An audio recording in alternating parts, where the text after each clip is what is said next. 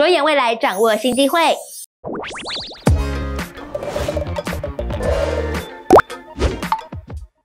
大家好，我是婉伦，欢迎收看《客新闻每日一刻》，来帮头脑进步六探集报。持续迈入第四季，集团作战题材蓄势待发，国巨、友达、台剧、长荣集团等作战常胜军都有涨势引领多头资金攻坚。相关个股呢是带着第三季财报、第四季以及明年营运展望题材等等优势，法人啊建议投资人可以采取中长线的投资策略，遇到拉回就可以布局。而可以留意的是，全球第一大货柜航运集团马士基股价创新高。马士基认为，因为港口的劳动力不足，塞港将延续到二零二二年，也因此呢，货柜三雄长荣、阳明、万海人气回笼，三号的成交值合计将近七百亿元诶。另外要特别留意的是，天后异常产棉国发生虫害，造成呢国际棉花价格飙涨，本收已经攀上十多年来的新高了。国内棉纺厂南纺是直接受惠，而棉花价格上涨造成的供给不足，造导致呢人造的